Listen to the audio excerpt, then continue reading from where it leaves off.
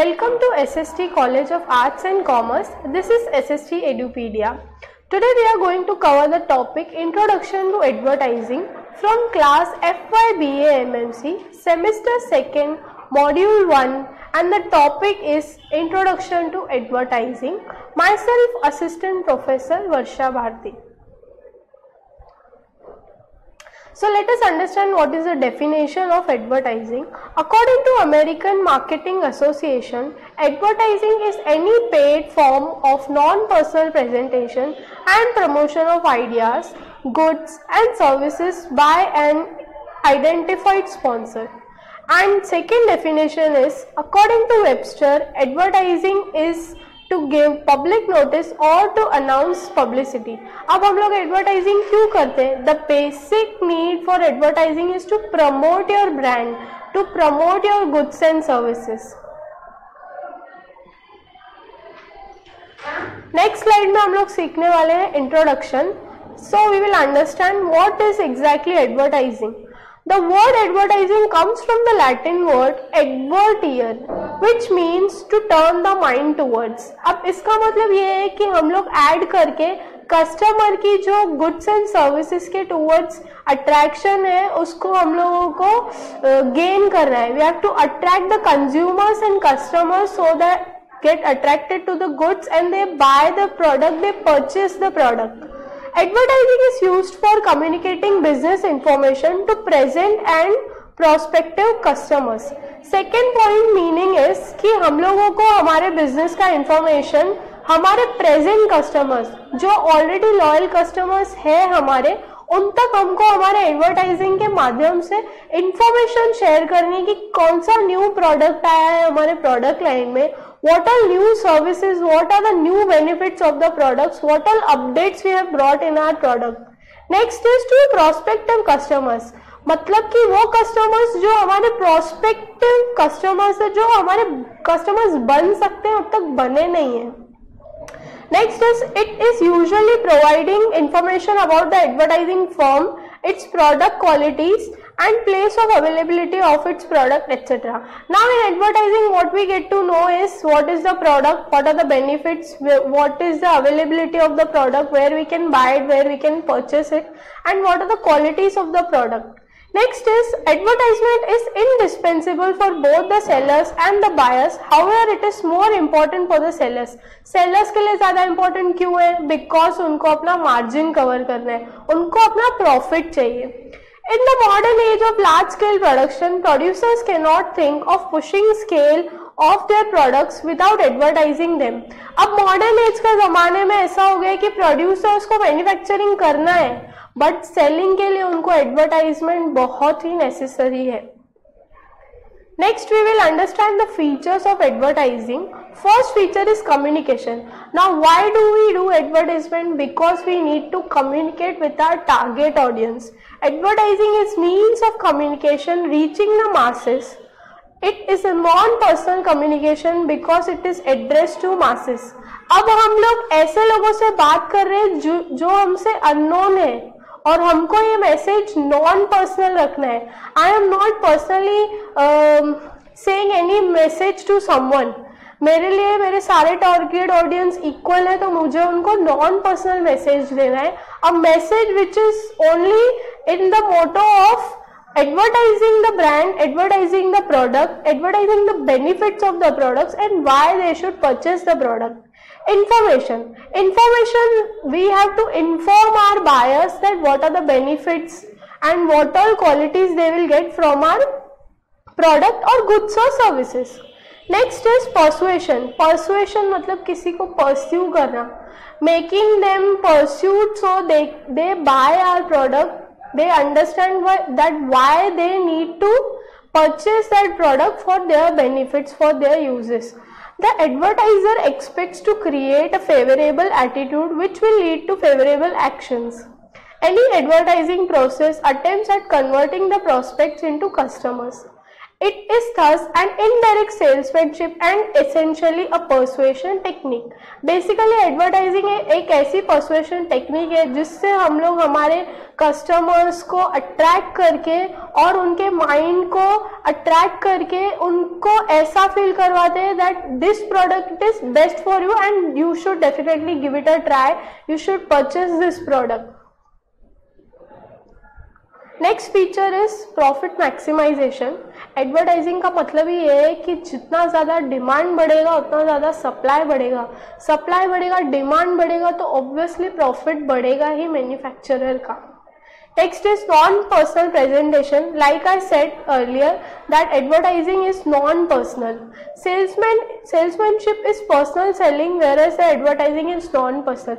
अब सेल्समैन जब सामने से आपसे फेस टू फेस बात करता है तो आपको पर्सनली आपकी लाइकिंग को प्रोडक्ट से मैच करके आपको ये एहसास दिलाता है that yes this product is for me for the buyer But when we are doing advertising, we just need to show the features of the product or the services.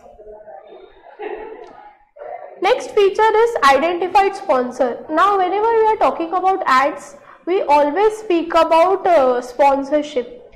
जब भी हम लोग कोई भी मूवी का ट्रेलर देखते हैं, जब भी हम लोग कोई भी रियलिटी शो देखते हैं, उसमें आता है ना को पावर्ड बाय स्पॉन्सर्ड बाय बहुत बड़े बड़े इवेंट्स होते हैं वीवो ओप्पो बहुत बड़े बड़े ब्रांड्स होते हैं उनको स्पॉन्सरशिप देते हैं। क्यों?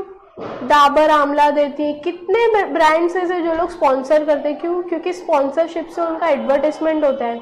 ऐसी बहुत सारी एक्टिविटीज़ होती है सीएसआर एक्टिविटीज़ जिसमें वो लोग अपना स्पॉन्सरशिप देते अब इससे क्या होगा? स्पॉन्सरशिप से लोगों तक पता चलेगा कि ये ब्रांड ऐसी एक्टिविटीज़ भी करती है, ऐसे इवेंट्स में भी इन्वॉल्व है तो उससे उनका इनडायरेक्टली बहुत अच्छे लेवल पे प्रमोशन हो जाता है। और बड़े ब्रांड्स के साथ टाइप करके स्पॉन्सरशिप करने का मतलब छोटे ब्रांड्स को भी, जो बड़े ब्रांड के लॉयल कस्टमर्स हैं, वो भी मिल जाएँगे प्लस उनका पीआर भी बढ़ जाएगा। Next is consumer choice advertising facilitates consumer choice अब एडवर्टाइजिंग तो बहुत सारे प्रोडक्ट्स की होती है।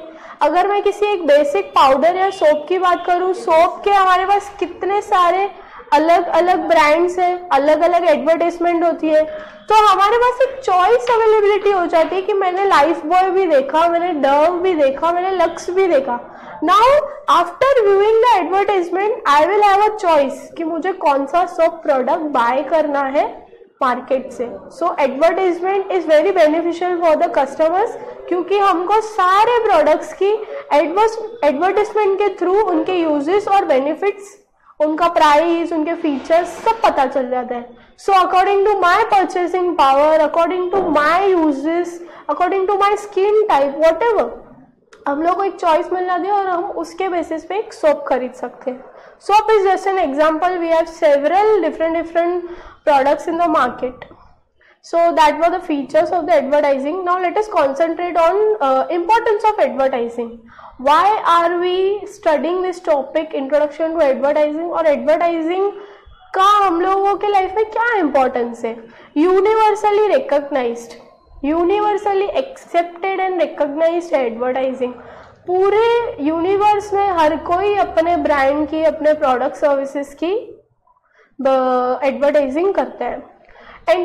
People not only uh, telling the features and benefits and uses and everything price rates क्या डिमांड है एवरीथिंग कस्टमर्स के reviews not only that but they also entertain people we have several ads in the market. जैसे कि five star की ad देखी हम लोगों ने, उसमें थोड़ा कॉमिक रहता है। We have celebration Cadbury celebration का एड उसमें इमोशंस होती है फीलिंग्स होती है। काफ़ी सारे ऐसे बिस्किट के एड्स आते हैं जो थोड़े कॉमिक होते हैं। वाई इज़ दैट बिकॉज़ हम लोगों में वो रिकॉल वैल्यू आनी चाहिए।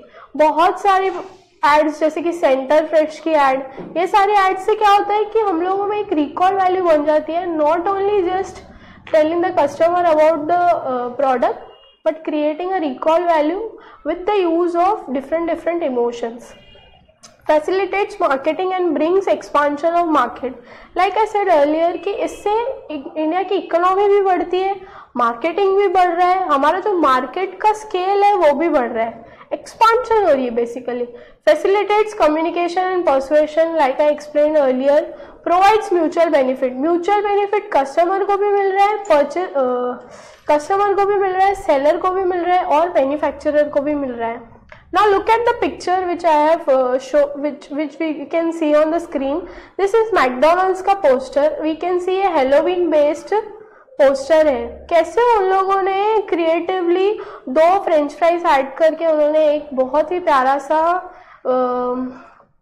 एड बनाया है and attracting the customers for Halloween theme next is promotes production and distribution creates employment अब डिस्ट्रीब्यूशन भी बढ़ रहा है, इस वजह से एम्प्लॉयमेंट भी बढ़ रहा है। अगर डिमांड बढ़ रही है किसी भी प्रोडक्ट की तो ऑब्वियसली कंपनी को और ज़्यादा एम्प्लॉयज़ की ज़रूरत होगी। तो इससे क्या हो रहा है इंडिया में एम्प्लॉयमेंट बढ़ रहा है। Raised standard of living now as we are getting to know new new products new uh, services provided to us as a customer as a consumer we get a choice to choose the brand choose the product. इससे क्या होगा हम लोग और upgrade होते जा रहे हैं एडवांस होते जा रहे हैं। So we need to know that हम लोगों को कौन सा प्रोडक्ट लेना है और किससे हमारे लाइफ में और अपग्रेडेशन आएगा। स्टिमुलेट्स कंपटीशन एडवर्टाइजिंग तो की इसलिए जाती है क्योंकि कंपटीशन होते हैं। हमने हर जगह पे देखा है। Best example is Oppo and Vivo जहाँ पे ओप्पो का होगा, उसके बाजू में ही वीवो का भी बैनर पोस्टर होर्डिंग होगा। क्यों? क्योंकि it is hand in hand अगर एक ब्रांड ने अपना पीआर स्ट्रॉन्ग किया है तो सामने वाला ब्रांड भी अपना पीआर स्ट्रॉन्ग करेगा। अगर एक ने अपने ए फीचर्स को स्ट्रॉन्ग दिखाया तो वो अपने दूसरे बी फीचर्स को स्ट्रॉन्ग दिखाएगा। दोनों अपने यूएसपीज को स्ट्रेंथ बना के कस्टमर्स को अट्रैक्ट करेंगे। Next is supports ad media including radio, TV, newspaper and social media platforms. As you can see in the picture, this is very creative uh, ad done by the PhonePe people उन लोग phone पे brand ने ये creativity दिखाते हुए अपना ये advertising campaign start किया था ट्रक्स पे उन्होंने पीछे अपने बैनर्स लगवाए थे so so that it's a basic thing जब हम लोग रोड पे चल रहे होते हैं, ऐसे कई बार हम लोग को बिलबोर्ड होर्डिंग्स दिखते हैं। But this is something new ये एक बहुत ही अच्छा क्रिएटिव एड का एग्ज़ाम्पल है। In next PPT we will get to learn more about advertising thank you very much